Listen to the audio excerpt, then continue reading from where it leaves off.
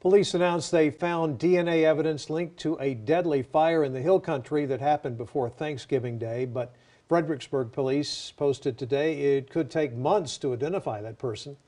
15-year-old Azalea Hernandez and 16-year-old Eliza Maurer died in the fire at the 1019 Friendship Lane apartments. Investigators added they have been interviewed and given polygraph tests to several witnesses and persons of interest. Gillespie County Crime Stoppers is still offering a cash reward for information leading to an arrest.